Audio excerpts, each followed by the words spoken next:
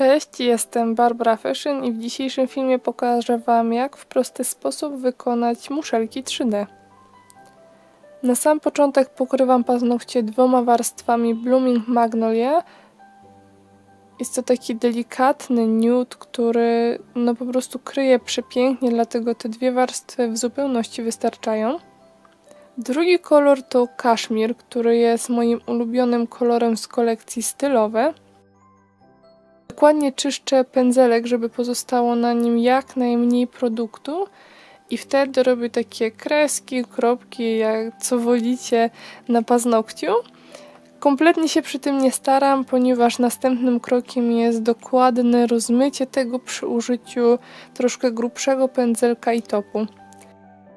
Możecie użyć jaśniejszych, ciemniejszych kolorów. Po prostu chodzi nam o uzyskanie efektu plaży, czyli bardzo różnych odcieni takich delikatnych, ciepłych kolorów. Wszystko dokładnie utwardzam i wtedy przechodzę do naszego zdobienia, czyli do zrobienia szkieletu naszych muszli. Będę to robić przy użyciu hybrydy Extra White, która pięknie kryje już po pierwszej warstwie. Przy szkielecie staramy się, żeby on był już jakby docelowym kształtem tych naszych muszelek. Oczywiście nie musi być to idealne, ale ten kształt będzie już z nami do samego końca. Na koniec utwardzam i wszystko pokrywam topem. Top może być matowy albo błyszczący, według uznania.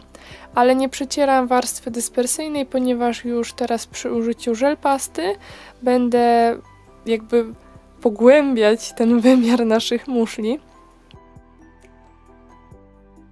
Wszystkie warstwy naszej muszli dokładnie utwardzam i po pierwszej linii i po drugiej i po kropkach, żeby po prostu zrobić taki efekt 3D, żeby te elementy były jak najbardziej odstające.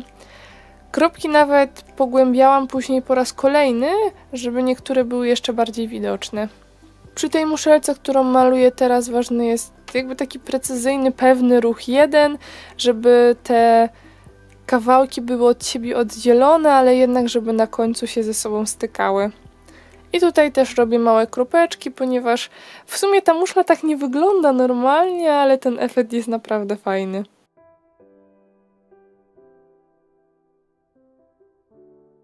Te małe kropeczki, które porozrzucałam, też pokrywam jeszcze jedną warstwą żel pasty. I na koniec wszystko dokładnie utwardzam. Pamiętajcie o dłuższym czasie utwardzania, ponieważ ten produkt ma bardzo, bardzo dużo pigmentu. Przemywam cleanerem i zdobienie jest już gotowe. Oczywiście nie każdemu może się spodobać, ponieważ jest odstające, a wiem, że nie każdy z Was to lubi, ale moim zdaniem no, na wakacje nadaje się po prostu idealnie. No i tutaj jeszcze kilka próbników, które robiłam wcześniej i takich propozycji. Także to na dzisiaj tyle. Żegnam się. Do zobaczenia. Pa.